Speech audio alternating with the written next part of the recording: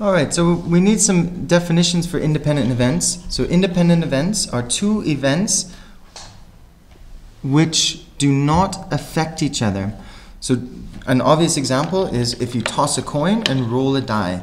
The result of the coin toss and the result of the rolling the dice have no effect on each other. If we have events A and B, which are two independent events, then the intersection of those events, probability A and B, is the product of the probability of A and the probability of B. Do you want to pop in some more examples of uh, what could be some independent events there, Mr. Song? Um, independent events. How about the color of my shirt and then uh, color of Mr. Kerbis's shirt? That's right. We have no idea what the other one is wearing. We both go to our our own wardrobes and uh, and have a look there. Good. Okay, in this example, we are given that Giuseppe has a 60% chance of winning a tennis match. Henry has a 75% chance of winning a tennis match. Obviously, Henry's a, a little bit better, um, but they're not playing each other, right? So Giuseppe's game has nothing to do with Henry's game. They're maybe playing in different locations or whatever. What is the probability that they both win their tennis matches? Well, we can say that uh, Giuseppe winning and Henry winning the tennis match are independent events.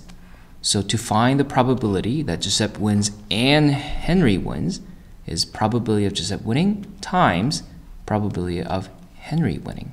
So 0.6 times 0.75. Okay, so 0.6 times 0.75 is 0.45. Good.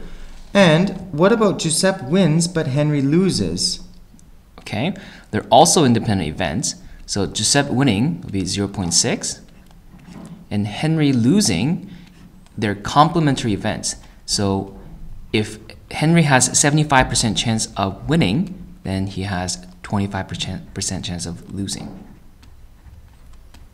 Good, so that's going to be 0.15 one quarter of 0.6.15.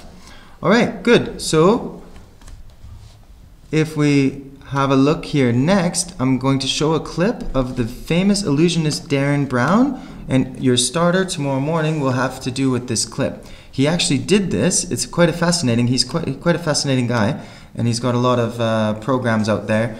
Um, and so have a look at, at what he does, and uh, your, your task tomorrow morning will be related to this final clip.